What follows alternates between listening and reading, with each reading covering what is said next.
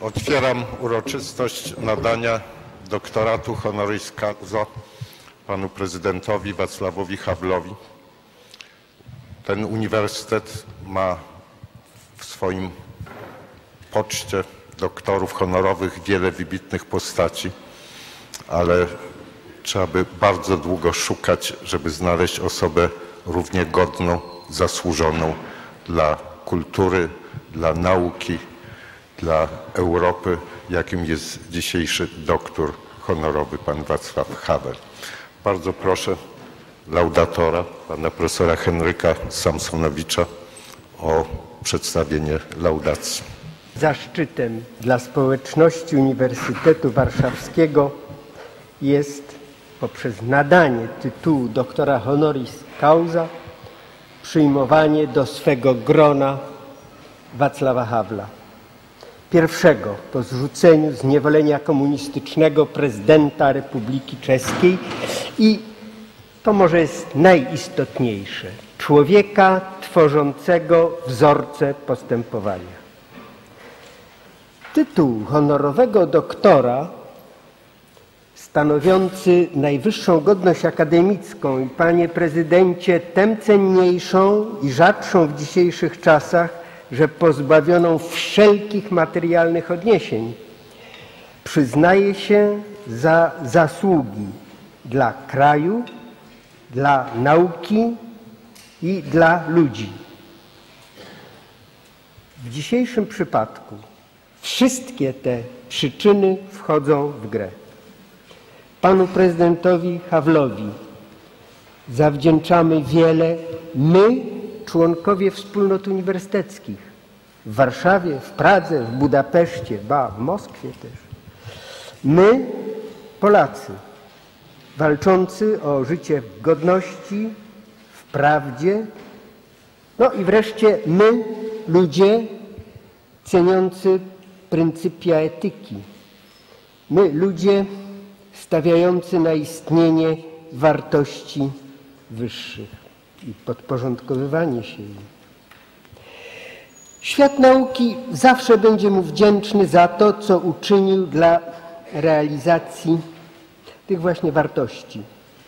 Wolności badań, wolności działania zgodnie z naszą wiedzą i naszym sumieniem. Będzie mu zawsze pamiętać, jak dalece przyczynił się do tego, że możemy pełnić naszą misję głoszenia prawdy, tak jak żeśmy w naszym przyrzeczeniu doktorskim obiecywali. Ut veritas propagatur. W Polsce Polacy pamiętają i będą pamiętać jego udział w tworzeniu nowej Europy i tej szerszej, 25 państw i tej nowej, tej leżącej w środkowej strefie kontynentu, gdzie też jest i nasze miejsce w świecie. To Wacław Havel przyczynił się do ujawnienia rzeczywistego oblicza dawnego systemu, przyspieszył jego rozpad i upadek. Jego udział w budowie nowej rzeczywistości przyspieszył nasze wyzwolenie od życia zakłamanego, wyzwolił samodzielność ludzi, obudził ich energię, obudził zapał i dał nam szeroko odetchnąć wolnością. A o tę wartość Wacław Havel walczył bardzo konsekwentnie przez dziesięciolecia. Stał się dzięki temu dla nas symbolem, do którego odwołujemy się wszyscy. Wznoszony przecież na ulicach miast polskich w 1989 roku okrzyk Niech żyje Havel oznaczał przecież Niech żyje wolność, niech żyje sprawiedliwość. A te wartości są przecież ważne dla wszystkich, dla ludzi, niezależnie od barwy ich skóry, języka, obyczajów. Nasz honorowy doktor jest też twórcą. I należy do twórców najwyższej miary, dodajmy, w różnych dziedzinach życia. Po pierwsze, jako kreator historii. No, Czechy miały w swojej bogatej historii ich liczny szereg, poczynając od tych, którzy kreowali historię, rozpoczynając ich dzieje. Przemysła Oracza, od którego zresztą Wacław Havel, który też już jest legendą, różni się tym, że istnieje naprawdę. Poprzez wiele krajowych i europejskich postaci. Nie muszę tutaj w obecności nas, naszych czeskich przyjaciół ich wszystkich wymieniać. Króla Karola, ojca Czech, Jana Husa, wielkiego reformatora, ojca kraju po I wojnie światowej Tomasza Masaryka, no ale wreszcie naszego dzisiejszego dostojnego gościa, który przecież przeprowadził Czechy przez trudny okres transformacji ustrojowej. A to jego dzieło pomogło i nam. Nie tylko przykładem, także refleksją teoretyczną, przemyślanym bowiem głęboko aktem wiary, bardzo potrzebnym, w naszych czasach bardzo ważnym manifestem ideologicznym, pod którym jakże wielu chciałoby się podpisać. Jest tekst Wacława Hawla głoszący. Nigdy nie zbudujemy demokratycznego państwa opartego na rządach prawa, jeśli nie zbudujemy jednocześnie państwa, które będzie, jakby to nie naukowo brzmiało w, w uszach politologów, ludzkie, moralne, intelektualne, także kulturalne. I warto o tym stwierdzeniu, o tym twierdzeniu pamiętać. Przeciwieństwie do niektórych swych poprzedników panteonu historii, niestety do wielu innych współczesnych już do owego panteonu nie pretendujących, Wacław Havel stał się przykładem człowieka prawego i jednocześnie dobrego, skromnego, życzliwego ludziom. Stał się uciele, ucieleśnieniem upragnionego dziś przez znękany świat polityka działającego, by znów odwołać się do przyrzeczenia doktorskiego, nie dla próżnej chwały i interesu własnego, lecz dla dobra powszechnego. No, Wacław Havel to przecież druga strona jego twórczości również musi być tu wymieniona. Twórca dzieł literackich i teatralnych, które weszły do kanonu współczesnej kultury. No, wiele, znacznie bardziej kompetentnie niż ja potrafię to uczynić, uczynić, można by powiedzieć o wielkim i znaczącym literackim dorobku Wacława Hawla. Nie czuję się kompetentny, aby mówić o walorach artystycznych jego prozy, jego dramatów. Nie budzi ona wątpliwości. Natomiast chcę wspomnieć, że pióro jego służyło nie tylko literaturze pięknej. Trudno tu nie wspomnieć o jego udziale w karcie 77, która rozpoczęła pierwszy etap rewolucji w Czechach o jego tekście Siła bezsilnych. Rozprawa, w której podjęty został temat budowy fundamentu naszej dzisiejszej rzeczywistości społeczeństwa obywatelskiego. O wstrząsających, pisanych w więzieniach, rozważaniach filozoficznych, w których zawarte są no właśnie pewne pryncypia etyki, w listach do Olgi. Nie budzą więc wątpliwości słuszne pretensje nie tylko politologów, filozofów, etyków, także literaturoznawców, by mieć prawo do wygłoszenia stosownej laudacji podczas dzisiejszej uroczystości.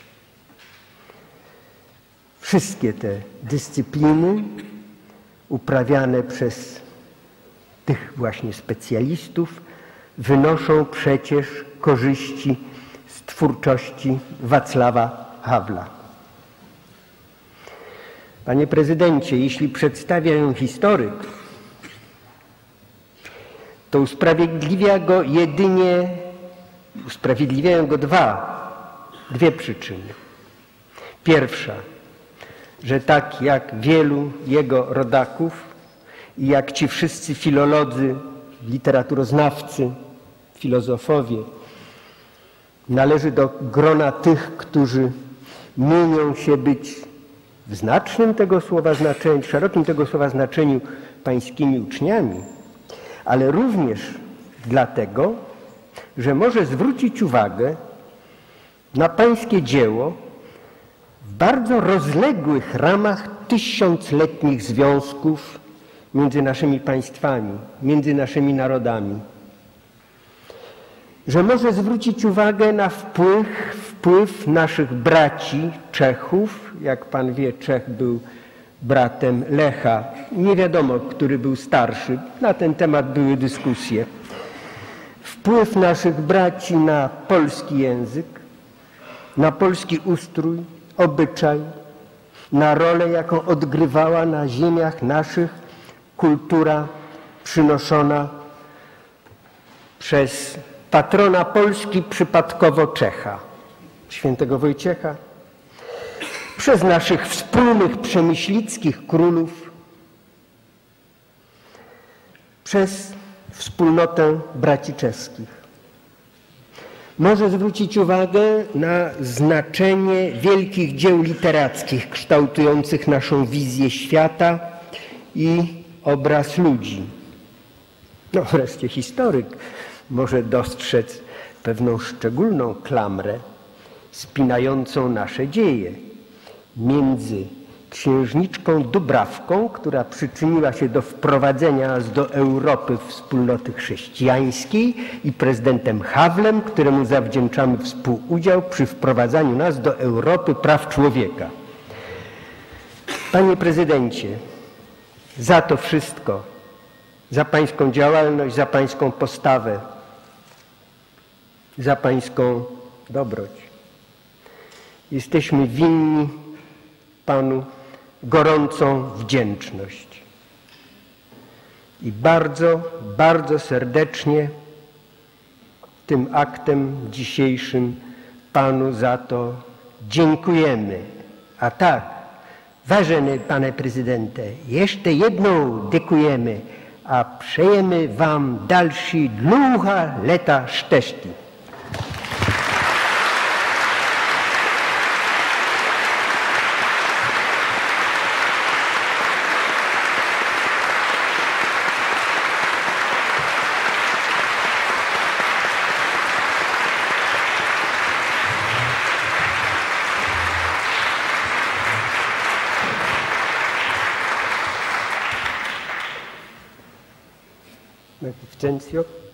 Pozwoli Magnificencja, że odpowiedni akt zostanie odczytany. W języku wspólnym naszej kultury. Quod felix faustum fortunatum sit, sum, summis auspiciis serenisse merei publice polonorum nos Petrus Węgleński scientiarum biologicarum doctor habilitatus in facultate biologiae professor hoc tempore rector magnificus.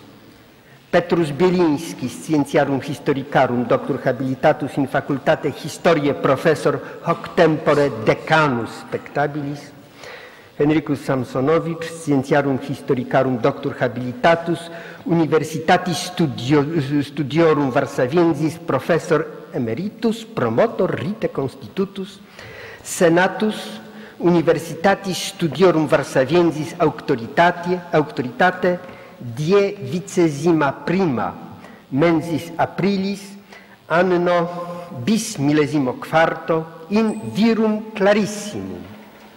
Venceslaum Havel qui serenissime rei publice bohemorum presidis munus summa cum industria ac navitate explebat, qui communistarum regimini populum opprimenti,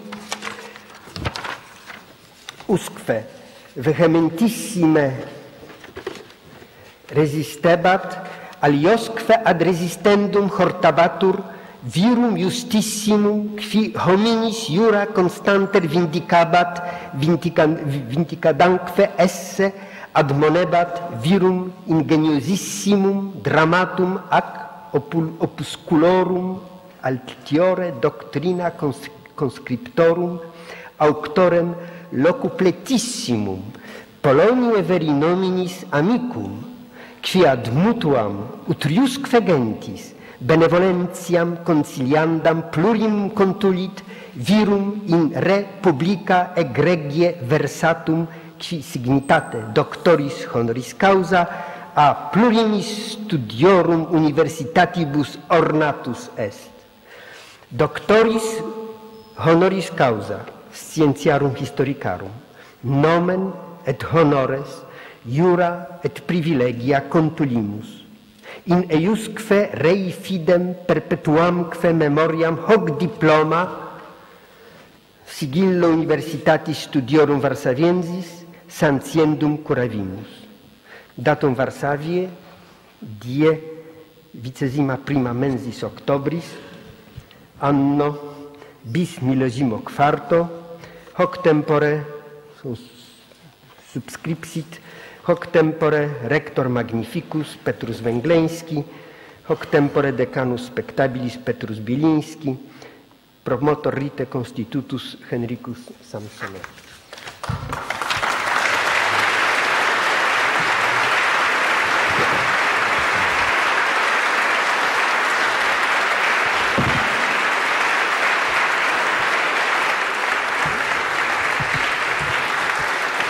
Bardzo, bardzo dziękuję promotorowi, profesorowi Samsonowiczowi. Pozwolę sobie odczytać teraz tekst ślubowania. I tak feniam nihil impedit quo minus honores universitatis studiorum Varsaviensis tibi impertiamus. Ergo ego te doctorem honoris causa creo, creatum renuncio, omniaque doctoris honoris causa jura ac privilegia in te confero, in eiusque rei fidem hoc diploma universitatis sigillo insignitum tibi in manus trado.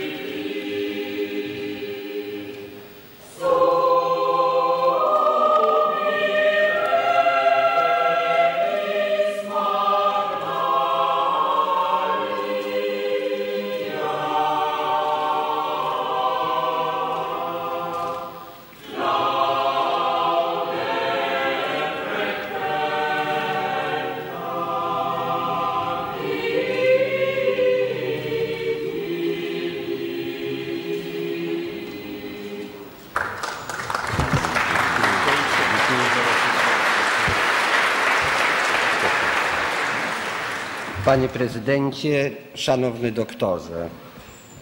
Wydział Historyczny tego Uniwersytetu to zgromadzenie osób obdarzonych dobrą, zawodową pamięcią o czasach minionych, bliższych i dalszych i zawodowo mocno nieufnych wobec świata polityki. Postacie mężów stanu są dla nas przedmiotem studiów, analiz, a nasze sympatie czy antypatie wobec owych postaci o wiele łatwiej wyrazić, kiedy chodzi o postacie, które nie żyją już od kilkuset lat. Rzadko więc zdarza się, aby takie zgromadzenie chciało uczcić jedynym wyróżnieniem, jakim środowisko akademickie dysponuje, kogoś, kto nie jest historykiem lub reprezentantem pokrewnej dyscypliny nauki. A jednak właśnie to zgromadzenie postanowiło wyróżnić polityka, żyjącego polityka Wacława Hawla. Stało się tak, gdyż ten polityk po prostu jest kawałkiem historii, jest historią samą w sobie. Jest historią ostatniego ćwierćwiecza nie tylko w dziejach braci Czechów, nie tylko dla naszej części kontynentu, ale historii naszej własnej, historii paru pokoleń Polaków. I to historii chlubnej. Jest bliski naszym wyobrażeniom o tym, jak i po co powinno się uprawiać działalność polityczną. Historycy, patrząc z perspektywy, może mają inną wizję niż politolodzy, i tu zbliżamy się w tym wypadku do pewnego ideału.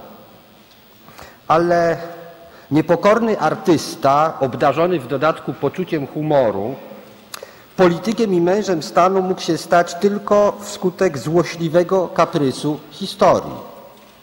Ale gdy już włączył się w działalność polityczną, to z uporem i godnością walczył o wszystkie te wartości o sprawy, i sprawy, o których mówił przed chwilą promotor tegoż przewodu. O wartości, z którymi utożsamia się nasze uniwersyteckie środowisko. Co nie bez znaczenia, ciągle nie porzucał pisarstwa, za co jesteśmy mu wszyscy wdzięczni. Bronił prawdy i wolności, kwestii, które tak zwanym trzeźwo i racjonalnie myślącym ludziom wydawały się wówczas z góry przegrane. On jednak wygrał. Ta historia, kapryśna dama, która uczyniła z niego działacza politycznego, przyznała mu w końcu rację, ale też kazała mu wtedy zdawać kolejny egzamin. Opozycyjny artysta miał stać się mężem stanu, pierwszym obywatelem swego kraju. Jak wiadomo, dla artystów jest to czasem jeszcze trudniejsze wyzwanie. Ale pan prezydent Václav Havel i tym razem poradził sobie z historią przez duże H.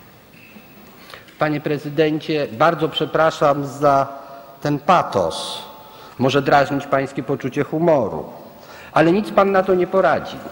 Stał się pan już częścią historii i historycy będą się panem zajmowali jeszcze przez wiele stuleci. Ci z Wydziału Historycznego najpewniej również. Mam nadzieję, że dla kolegi doktora honoris causa Uniwersytetu Warszawskiego zawsze będą mieli ten sam podziw i szacunek, który my żywimy dla Pana i dla Pańskiej działalności. W naszych dziejach, jak wspomniał o tym zresztą profesor Samsonowicz, mieliśmy przed wiekami dwóch czeskich królów o imieniu Wacław, numer dwa i numer trzy, którzy nie cieszą się zresztą szczególną sympatią naszych historyków, choć w wypadku Wacława II nie jest to do końca sprawiedliwe. Chciałbym, aby ten Wacław, którego dzisiaj mamy pomiędzy sobą, nie chciałbym mu dawać numeru czwartego, miał zawsze u polskich historyków jak najlepszą prasę. Serdecznie tego życzę w imieniu całej społeczności akademickiej naszego wydziału.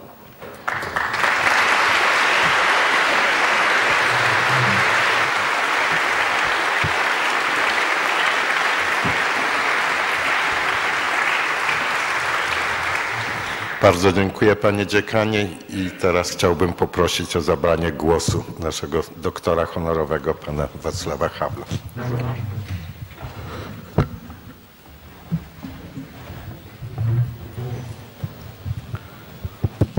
Pane prezidente, pane rektore, dámy a pánové, Panie prezydencie, panie rektorze, szanowne panie i panowie. samozřejmě musím začít tím, že děkuji. Oczywiście Děkuji, muszę zacząć od tego, że dziękuję. děkuji nejen za tuto poctu, za tento doktorát, děkuji i za vlídná slova na moji adresu. Dziękuję za ten zaszczyt, za przyznanie mi doktoratu honoris causa, jak również za miłe słowa pod moim adresem. Jeden z učitelů této školy, Zygmunt Bauman, v knize Globalizace, kterou si velmi, které si velmi vážím, rozlišuje mezi turistou a poutníkem. Jeden z profesorów e, tej szkoły, e, profesor Zygmunt Bauman, w książce Globalizacja, którą bardzo szanuję, wprowadza podział między turystą i pielgrzymem. Zatímco turista přijíždí a něco chce, chce, aby mu to prostředí nějakým způsobem sloužilo, je pyšný, poutník je naopak ten, kdo přichází pokorně, s úctou, s obdivem, se zvědavostí. Podczas kiedy turysta e, jest osobą, która przyjeżdża, czegoś oczekuje od e, środowiska, od przestrzeni, w której się znajduje, e, czegoś od niej chce, jest dumny, to pielgrzym jest pokorny, chce, chce ma, szacunek dla tej przestrzeni, w którą wchodzi. Já bych vás rád ujistil, že jsem sem přijel nikoli jako turista, ale jako poutník. Ja chcę Państwa zapewnić, że ja przybyłem tutaj nie jako turysta, ale jako pielgrzym. Jako poutník, který si váží velké tradice svobodomyslnosti této univerzity, velké tradice jejího vzdoru proti násilí. E, Jako pielgrzym, który ma ogromny szacunek dla wolnościowych e, tradycji tego uniwersytetu, dla tradycji oporu. Já bych ze všech peripetí tohoto vzdoru se rád zmínil o jedné. Spośród wszystkich epizodów tego oporu chciałbym e, skupić się przynajmniej na jednej.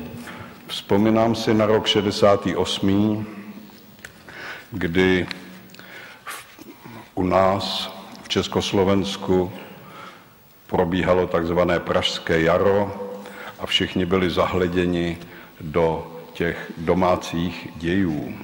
E, Przypominam sobie, wspominam rok 68, kiedy u nas w Czechosłowacji e, przebiegało, e, przebiegała tak zwana praska wiosna i wszyscy w naszym kraju zajmowali się wewnętrznymi sprawami. A já jsem v té době sledoval, co se děje v Polsku, co se děje zde ve Varšavě a cítil jsem potřebu se solidarizovat, což jsem tehdy jako člověk podstatně mladší než dnes udělal. E, Ja natomiast obserwowałem, co się dzieje w tym czasie w Polsce, co się dzieje w Warszawie i jako człowiek jeszcze młody odczuwałem potrzebę solidaryzowania się z, ludźmi, którzy walczyli o podobne rzeczy w, w, tutaj w tym kraju. Myslím, že tehdy jsem poprvé slyšel jméno svého pozdějšího mnohaletého přítele Adama Michnika. Myślę, że wtedy właśnie usłyszałem po raz pierwszy nazwisko mojego późniejszego, długoletniego przyjaciela Adama Michnika. Je v nemocnici a já bych ho rád na této půdě pozdravoval. Jest, teraz, jest dzisiaj w szpitalu i chciałbym z tego miejsca go pozdrowić. Dovolte mi, abych si položil jednu otázku. Pozwólcie mi Państwo, żebym postawił sobie jedno pytanie. Tato univerzita byla ohniskem vzdoru proti totalitám, proti násilí, proti lži. Ten uniwersytet był ogniskiem oporu przeciwko totalitaryzmowi, przeciwko przemocy i przeciwko kłamstwu. Kladu si otázku, zda i dnes, kdy žijeme v demokratických, svobodných poměrech, je proti čemu vzdorovat. Stawiam sobie pytanie, czy dzisiaj, kiedy żyjemy w wolnych, demokratycznych warunkach, czy jest przeciwko czemu się opierać, przeciwko czemu walczyć? Já mám pocit, že je proti čemu vzdorovat. E, Mam wrażenie, że jest. Já mám pocit, že nad dnešní obdivuhodnou civilizací se vznášejí četná vážná nebezpečí. Myślę, wydaje mi się, że nad dzisiejszą współczesną, y, godną podziwu cywilizacją y, wznoszą się jednak, unoszą się jednak chmury bardzo niebezpieczne. Ta nebezpečí a ty dvojsmyslnosti toho civilizačního vývoje právě například mezi mnoha jinými popisuje profesor Bauman. Te, te chmury i te niebezpieczeństwa i te dwuznaczności w dzisiejszym rozwoju cywilizacyjnym między innymi opisuje y, na przykład profesor Z- Zygmunt Bauman. Já si myslím, že je třeba bez posedlosti, bez fanatismu, bez dogmatismu, s věcným, klidným nahlede, nadhledem podrobit soudobý svět kritické reflexi. Myślę, że trzeba, należy bez fanatyzmu, bez dogmatyzmu, y, z pełnym szacunkiem poddać jednak dzisiejszy świat k- krytycznej refleksji. honbu za dosažení okamžitého účelu na úkor dlouhodobé budoucnosti, honbu za pouhým ziskem je třeba podrobit kritické analýze, je třeba se zamyslet o příčinách a důsledcích tohoto civilizačního samopohybu. Pogoń e, za osiągnięciem natychmiastowego zysku należy poddać krytycznej ocenie. Já bych si přál, aby po tomto světě mimo desítek milionů turistů putovalo i více poutníků. Życzyłbym sobie, żeby e, po tym świecie poruszało się oprócz dziesiątek milionów turystów więcej pielgrzymów. Děkuji. Dziękuję.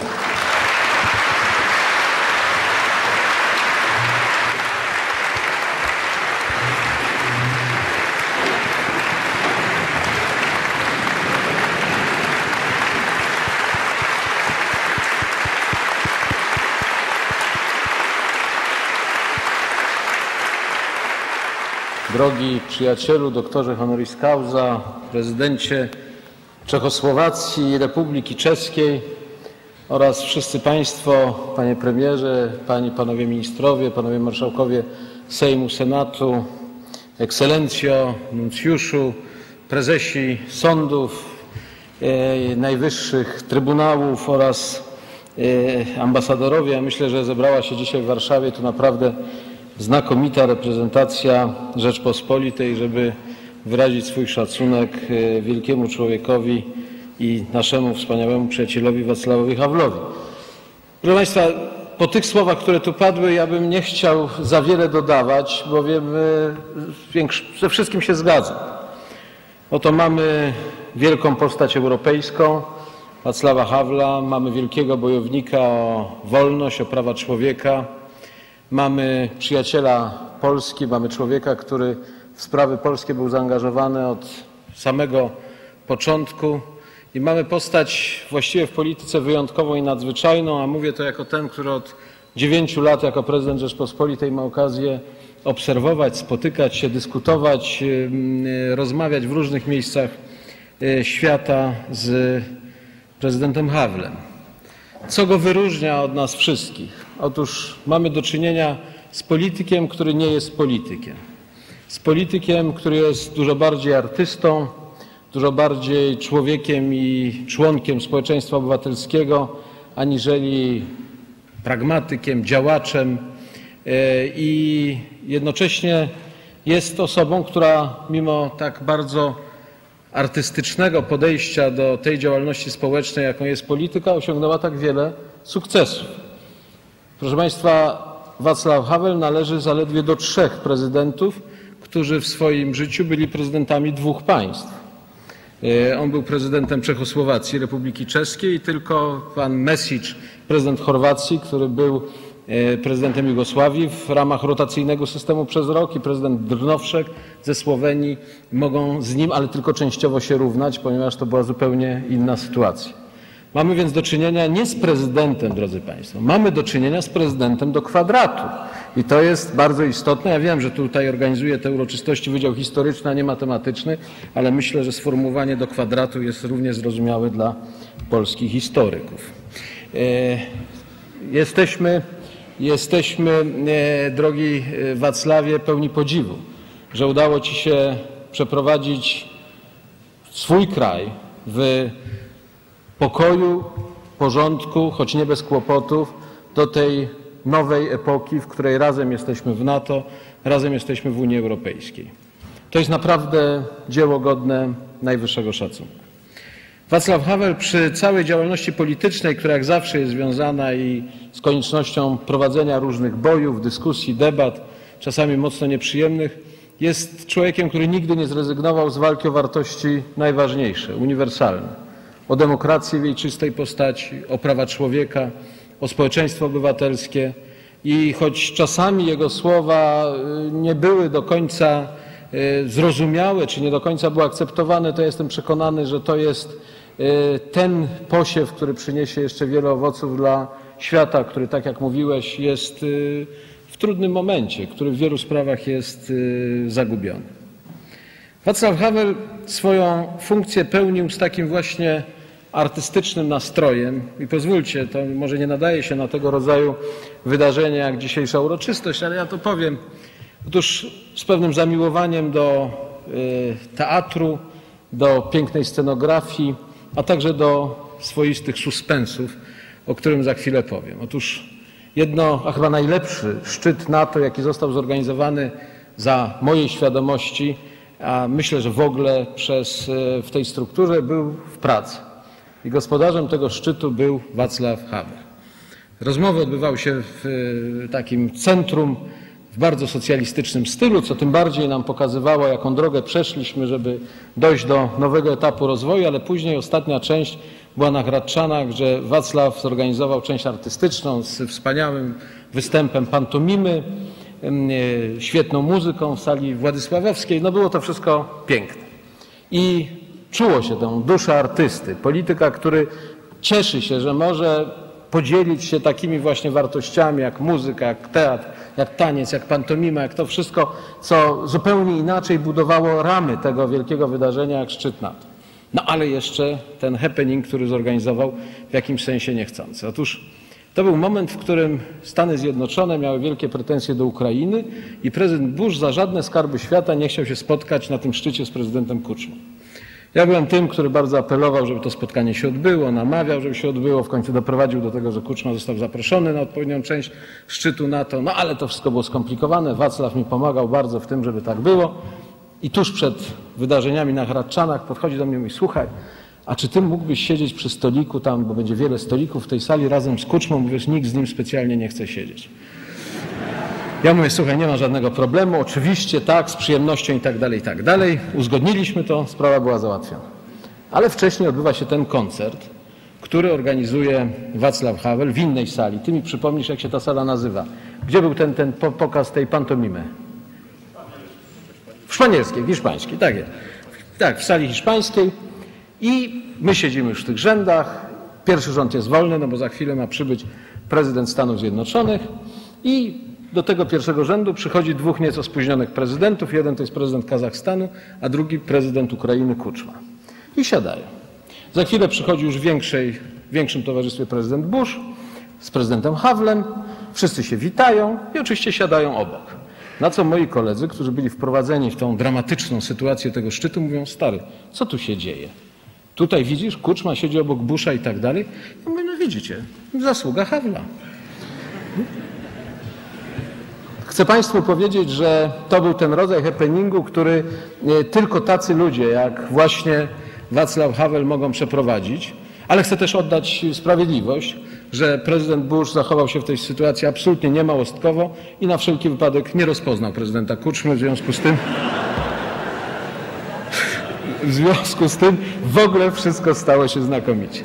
Dlaczego ja o tym mówię? Otóż, proszę Państwa, mówię o tym, żeby powiedzieć, że takich ludzi jak Wacław Havel, którzy łączyli e, wielką odpowiedzialność, e, silne morale, przekonanie o e, wartościach i o wyższości wszystkiego, co jest ludzkie, nad tym, co jest tylko organizującym naszą codzienność, takich wielu nie ma i cieszę się bardzo, że ten uniwersytet, Uniwersytet Warszawski docenił takiego właśnie człowieka, przede wszystkim człowieka, później artystę, a dopiero jeszcze później polityka. Gratuluję Ci Wacław z całego serca.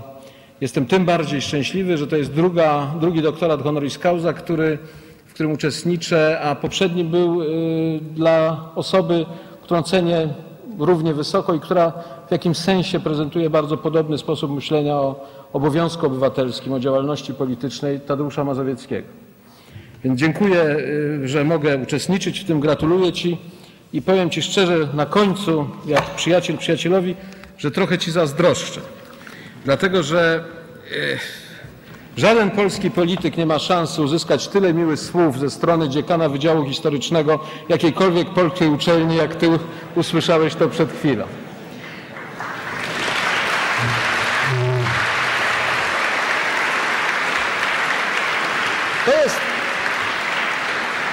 To jest oczywiście przede wszystkim Twoja zasługa, ale z drugiej strony to jest może trochę właśnie i to, że łatwiej ocenia się tych y, trochę z dystansu, aniżeli tych, z którymi trzeba żyć na co dzień. I z drugiej strony moja zazdrość jest o tyle ograniczona, że ja wiem, że jutro wrócisz do Pragi i będzie tak jak w Warszawie. Dla mnie.